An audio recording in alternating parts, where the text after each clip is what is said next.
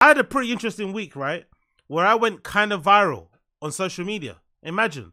Little old me, little old Agostinho, right? This insignificant peon of a person, right? This black knight, this gorilla, this um hunk, this flipping toad, this monster, right? This Romero, this Romeo, this um this uh, loser, this neek, this bad boy, this gangster, all those things that people call me.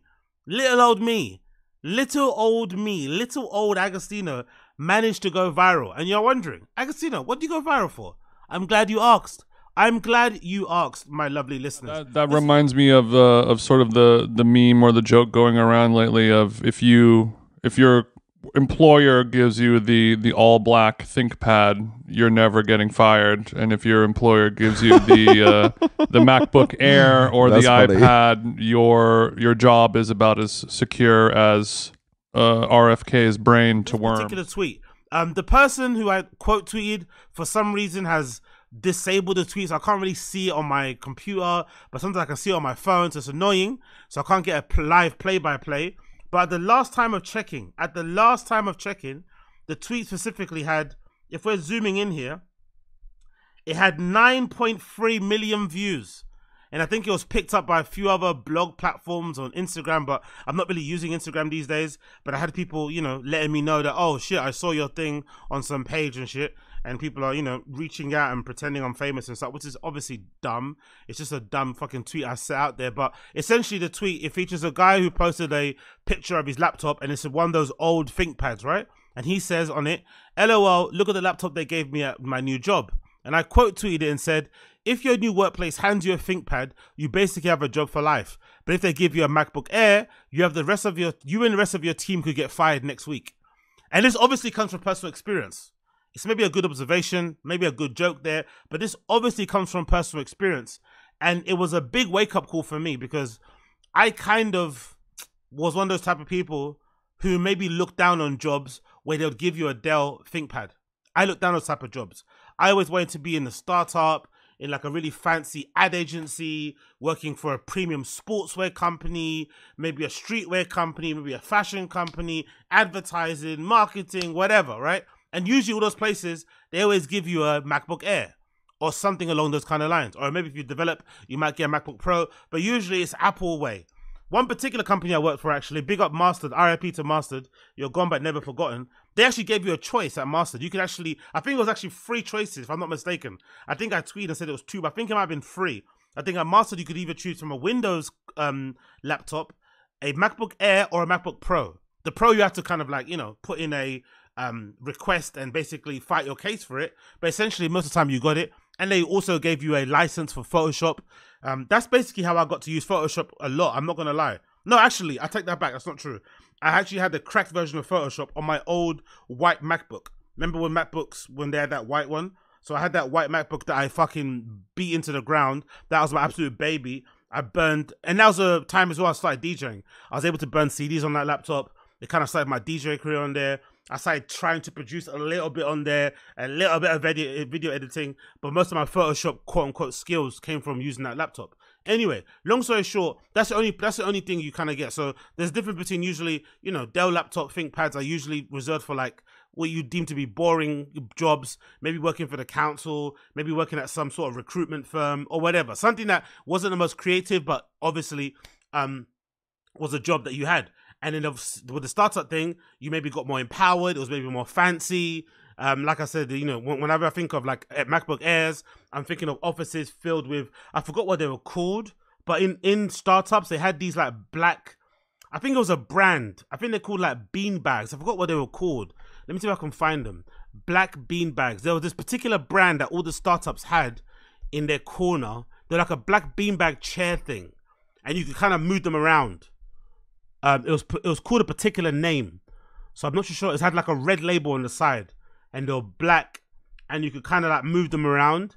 It was like a company that did these things. I forgot what the actual name of it was called, but uh, but if you know, you know what I'm talking about. But every startup I worked at would have a few of these in the corner, so you could like sit and lie down and and do that. They'd have a ping pong table, right? They'd have like an outdoor patio area type of thing, right?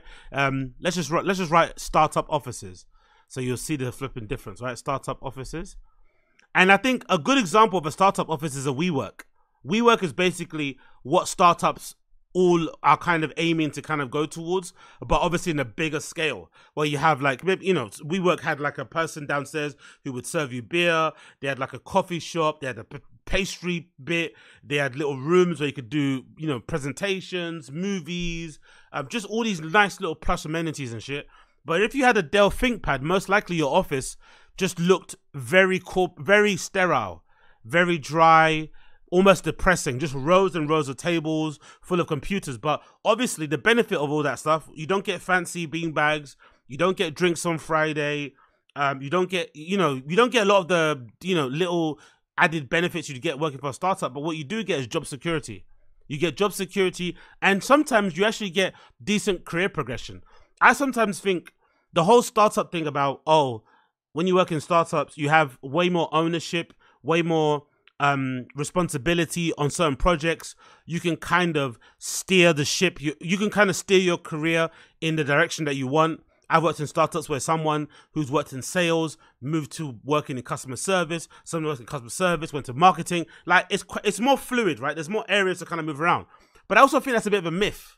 In the same way that it's a myth in startup world for you to work in a space where there's no delineation of like um, departments there's no like rooms, there's no doors. Everything is kind of open plan to kind of foster this idea of collaboration. But it doesn't actually do that. What it actually does is create more distraction. You don't get work done. Um, it, it kind of messes up the hierarchy as well a little bit. It's just not the best thing for like um what you call it for. It's not the best thing for you to get the job done day to day. You're kind of distracted all the time. You're easily kind of led astray somewhere else. You have people talking. It's just not the best place to focus. So I actually do provide I actually do prefer the time that I was working in a far more sterile, in a far more dry, in a far more boring environment. Like I was working in Colart, this place where they basically were a big art materials manufacturer, and I was working there. That was that was like my first internship I kind of had in an office, and I think at that time they must have been paying me like I'm not even gonna lie, it might have been like twelve grand a year or something, right? After taxes, that's just underneath like nine hundred pound a month and then my rent at the time was six hundred pound. So I had like three hundred odd pound to play with, right? Uh, uh you know, no, not three hundred, but exactly. Well, not in minus bills. So I had not that much to play with, which is funny when I think about it because that was also a time when I went out the most. And I and I think sometimes now that I have more disposable income, now that I kind of can do my own thing, and I live alone and stuff and whatever, I can kind of go, you know, do what I want and whatever. I'm not going out as much. But when I was at home and I wasn't earning as much, I was always going out. Maybe there was a part of me that kind of wanted to run away from home. But I think also a big part of it was just that you do way more with little. I think in general, you do way more with the little that you have. And I think I was really, really that kind of guy that would exhaust, you know, the, the hell out of a 20 pound note. So that went obviously quite far. So of course that's, that's quite good. But I think in general, this kind of like pro- career progression thing is kind of you know again over egged in startups. Because sometimes the lines can be blurred. Like i've also worked in startups where sometimes they promise you the world and never deliver. Whereas i think working for a place where they give you a thinkpad you will know quick, pretty quickly whether you can progress or not. You won't get sold any dreams. You'll realize quite fast. I think in the startups, they'll dangle the carrot in front of you. You'll have this idea. Because you have ownership and because you're taking it on, you'll end up working way more hours. There won't really be a clear i think with startups personally for me there is no clear delineation between your personal and your fucking work life. Sometimes they can bleed into each other. You're answering calls at 8 p no you're still at work at 8 p.m you're answering calls at 8 a.m in the morning before you get to work. It can be a little bit blurry and a bit messy whereas working for a place where they give you a thinkpad you start at 9 you end at 5 or 6 and that's basically it. If you don't get your thing done by the end of the day just pick up in the morning. You know that kind of thing that you, you get given that sort of responsibility. But i guess the only bad thing about working in, in a thinkpad environment is that if you do fuck up there's a lot more micromanagement. I found especially even from my case sometimes when you don't start the job on fire and they think that you're maybe lacking especially if you have, when you're past your probation they'll start micromanaging you way more. And that will sometimes make you feel a little bit inadequate. You might feel like you're not being trusted. You might just feel shitty and dumb whatever and that could be hard to kind of get over. Obviously, if you you know lower your you, you know have a bit of humility and make sure that you know you realize that it's not that big of a deal, and if you just improve your workflow and you just make sure your output's good, they're gonna leave you alone. But that can be a hard to deal with. Whereas in startups, you can get away with doing jack shit. in general. You could start in a startup, just be the fucking. I've done it before in my life, and I can uh, attest to it. I've definitely been a, a personality hire at a couple startups, maybe more, where I've never probably done that much great work, but because I was a good, positive, flipping, you know, influence around the office, they just kept me around for that sake. But I also think that's not the best way to go about living or the best way to go about working, especially if you want to progress your career. You're not really learning good habits. Um, it's not going to really stand you in good stead when you do go to another company where they don't really run that sort of shit because every place has a different type of, you know, working environment and culture. And some places they just don't play.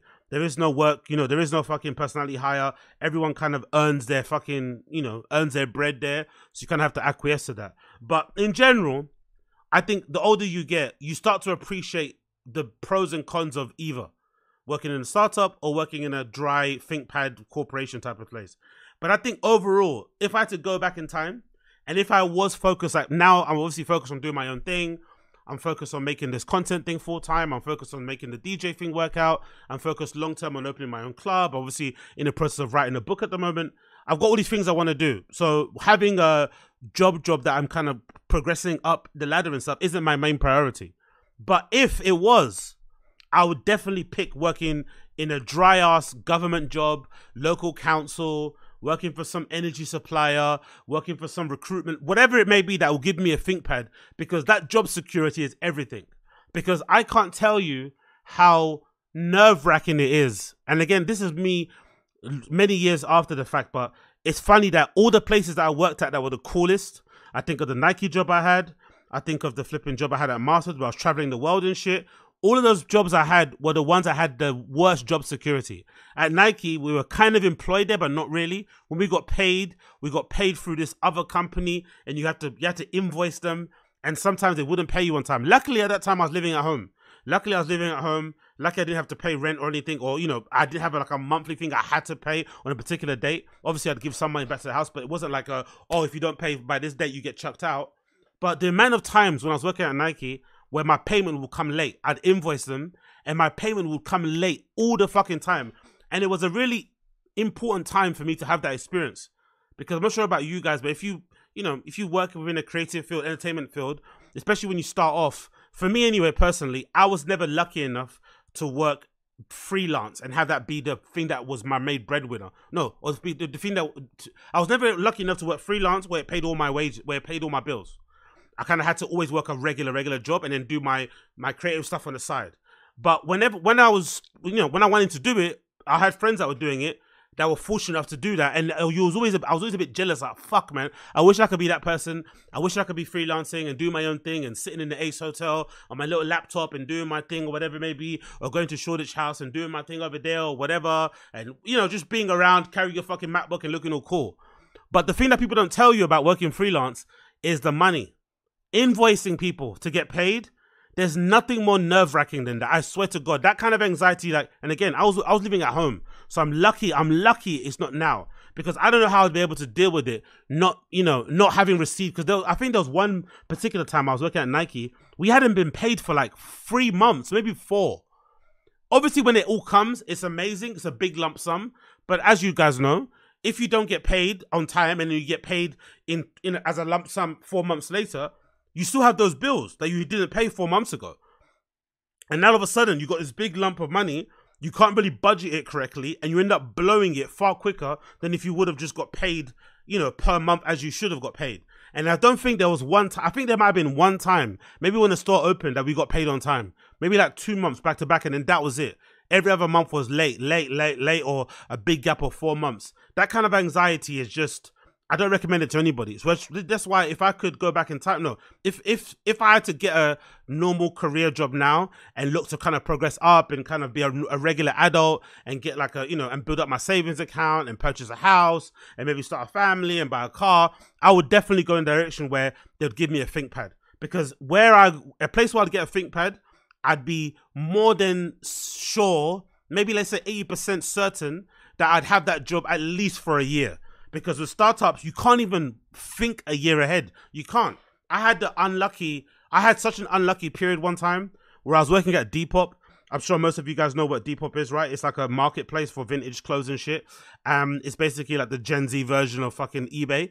I was working at Depop, and I was working there, and I didn't really feel like there was any career progression. Unfortunately, Depop's kind of culture at the time. Maybe it was my personality. I don't really know, but I didn't feel like I had the opportunity to move into another team. And the people in the other team, especially the marketing team, they were, you know, they were kind of wankers to be fair. Um, there'll come some people there who I liked, but this particular lady that moved there, that became the head of the team there, she was very snobby, kind of up her own ass, and it it was unfortunate too at Depop because for a while we had a really cool crew of people there, employees that worked there. But then over time, people obviously became really popular and whatever. And then we started, you know, the company, sorry, we, they started hiring way more cooler kids and cooler kids with better CVs, with a better clout. They come with their own little attitude and, you know, bravado and shit. And it really did change the vibe of the office. I, I that's what I noticed anyway. It became like a, it became like any other cool place you'd work at. I'd imagine if you work at i-D Magazine or you worked at some fucking creative studio, it had that kind of unnecessary, pretentious, snobby vibe. So I didn't really want to work in a marketing team. Now, again, I'm saying this, most likely they wouldn't have taken me anyway. Cool, it is what it is. But I didn't really feel like there's any progression. But I was working pretty well in the, you know, community support, customer support service area. I was doing a pretty good job there. Um, I was, you know, all right. But then I decided after a year and a half, oh, let me change jobs. And I didn't need to change. Depop, we, I was working at Depop when they used to be at this office called Zetland House in Old Street. Then they moved their offices to the office they got now, which is near like Liverpool Street. It's like a really spanky, brand new office that they kind of built out. Everybody was really hyped about it because they really made it as a place to kind of chill. Um, let me see if I can get the pictures up on here. It's a really nice office, to be fair. It's got like this massive, nice pyramid thing on the front where you can sit right? Like as you can see from the pictures, it's a really well done office. They've got a really nice reception area, a nice little pyramid area here in the, in the corner where you can sit, great meeting rooms, loads of places to sit and eat and shit. Just a nice, cozy type of environment, right? They moved into this office and we'd only been in there for like six months. But I decided in my great wisdom, oh, I need to, I need more. The salary was too low, working community support. I needed more autonomy. I needed more. I needed more like responsibility. I needed to do my own thing. So I decided to apply for some social media manager role at this other startup, and I left myself. I time my resignation, had the whole leaving party thing. Was pretty cool. I moved to this new fucking startup, and guess what happens? Guess my fucking bad luck. I moved to this new startup, motherfuckers, and guess what happens? Yeah, but you guessed it. The startup goes fucking bankrupt. I was there three months only after leaving Depop. Three months, and just before Christmas as well. Just before fucking Christmas, I went on. I went on a little staycation to Manchester to have a have a good time, chill out and whatnot. Um, booked myself a room at the fucking EasyJet. I've been an Easy Hotel, right? They have like an Easy Hotel there. Absolutely horrendous. Don't go there, by the way. Pay money for a regular hotel. That Easy Hotel is fucking terrible. And then I and then I was waiting for my money to come through that weekend to actually have extra money to spend when I was in Manchester, and it didn't come through. And then I went on the fucking, you know, slack of the company, and that's when everyone was just going off. I was like, oh no, my bad luck. I literally left a solid, comfortable role, went somewhere else to risk it all, and I risked it, and now the place is going up in flames. And it took us a while to get our money. The company went bankrupt. We had to kind of, I think, no, so I guess the term is insolvent. And then you have to go through the government thing to get your money because it's unpaid wages. And that comes through super late. I think we got our money like six months later. And we only got our money, or I got my money through some very nefarious tactics. Like I was on demon time. Like anything you're imagining, I did. And worse. Do you know what I mean? So I was I was playing with fire. I probably could have got arrested for that shit, the stuff that I did. But luckily that didn't happen. Um, but all of that happened because I went to like a startup where they, they they sold me a dream. Like, yeah, you're gonna be leading the marketing team. You're gonna be responsible for telling this story, um, inspiring people, connect, blah blah blah blah blah blah blah. I got a MacBook Air. I was able to walk in at nine in my cool clothes in this little office next to um, I think Holborn or something. It was like a co-working space and shit. Like all this cool shit ne- next to like, and I think it was near like some area where you could get like street food uh, during the during the week. They had like, like a little street where little stands were there and stuff. So all these cool, amazing things that tick off the boxes. But job security whew, out the window because after three months of being there, the company was kaput. I only really got two whole full payments. The third month I didn't get. I had to wait for it after the fucking you know deliberation or whatever else it went on. So that was why after that I was like, oh, I had way more respect for ThinkPad jobs because a ThinkPad job would have never done me that dirty. A ThinkPad job would have given me a couple of months heads up. A ThinkPad job probably wouldn't have hired anybody because I'm led to believe, especially nowadays, thinking back at it, there's no way they didn't know that they were on their last legs, but they still hired me. And why they hired me? They didn't hire me because I was fucking amazing. They hired me because they wanted to look like because with startup in startup was in order to receive more investment, you kind of have to increase your employee numbers because it basically looks like you have demand or the app is going well or whatever the product you're selling, whatever you're doing is succeeding, which is why you need more help and you hire more employees. So if you have more employees, especially if they're diverse, I tick the boxes. Um, you can look like you're doing good things, and then you can kind of use that to raise a, another round of investment. So that's essentially why I got hired for. I didn't know. I didn't. I didn't know at the time, but afterwards I was thinking, yeah, that's true. Like, there's no way they didn't know the company was on its last legs. So I learned a lot from that experience of like, okay, cool if you want that autonomy, if you want that cash, if you want that coolness factor, if you want to look like a big shot with your little MacBook Air under your under your armpit, walking into Pret a Manger and ordering your fucking you know black coffee and shit, you, you're gonna it's gonna come with some risk. If you if you want beers every Wednesday, if you want fucking pizza on Fridays, ping pong tables, um, grassy lawns on your rooftop that you can sit outside and lounge on and stuff, it's gonna come with some job in in insecurity? Security yeah insecurity. You're gonna it's gonna be all over the place. So respect all jobs. All jobs are created equal. As long as they can pay your way forward as long as they can support you support your family keep a roof over your head keep warm clothes on your back all that good shit support them or you know respect them if you are in the creative field, respect that job even more so, especially if it's allowing you to do the stuff you want to do outside of work. Don't take it for granted like I used to and think you are kind of better than the role or I don't need to do this. No, no, no, no. Have a good working attitude because if anything, having a good working attitude at your job that you don't actually like will actually translate into the stuff that you like to do because you just have good work ethic in general, and that's obviously something that you don't, you shouldn't be turning on and off depending on what you're doing. Um, you should do everything with excellence. Doesn't matter if you're fucking grocery shopping. Doesn't matter if you're fucking cutting your own hair. Everything should be done to a level of excellence. It shouldn't be like, oh, that's just, just that's enough. That's okay. It should always be excellent, and then that also should translate to your job. So happy I went kind of viral. Um, so big up everybody that saw it and liked it and left left me comments and shit. I think at, at last fucking check, I had over 586 fucking replies. My notifications were going crazy. I felt like I was getting cancelled for saying fucking the F word or something. So that was pretty cool. And big, big up everybody out there that saw it.